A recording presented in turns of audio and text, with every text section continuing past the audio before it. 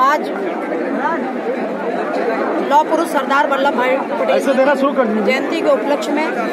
Run for unity का कार्यक्रम अमेठी जनपद में आयोजित किया गया जिसमें सभी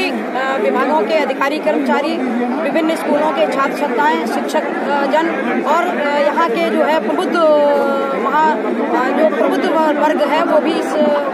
रन फॉर यूनिटी के कार्यक्रम में शामिल हुआ है और बच्चों में ये उनको संकल्प पढ़कर जो है बच्चों में आज जो है सब बच्चों को यहाँ जो उपस्थित महानुभावगण हैं जो इस रन फॉर यूनिटी में शामिल हुए हैं उनको राष्ट्रीय एकता दिवस की शपथ दिलाई गई है।